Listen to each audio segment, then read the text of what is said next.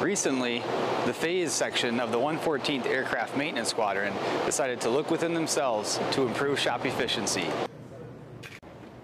Theory of constraints basically looks at efficiencies and how you, the processes you already have in place. So when you break down how you're doing your day-to-day operation, you're looking for little things that you can change to improve your entire process. In the aircraft business, our mission is to fly airplanes. Um, everyone thinks that those hours come smooth and every every plane's capable of doing that mission, but when you break things down, there's there's little areas to improve that we can increase our fleet's health in general.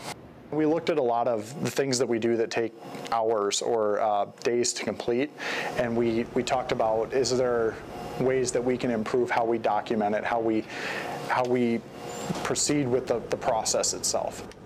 So every time we produce more flying hours, we're increasing the amount of aircraft availability for the pilots to choose from. And anytime that we have more aircraft available, that allows us more flexibility in our scheduling process. When we have better scheduling flexibility, we have better mission capability. So it all just ties in hand in hand with our capability as a, as a unit. The method proved to be fruitful for the shop as they increase production of aircraft hours by 42%. I'm Tech Sergeant Luke Olson, reporting from Joe Foss Field, South Dakota.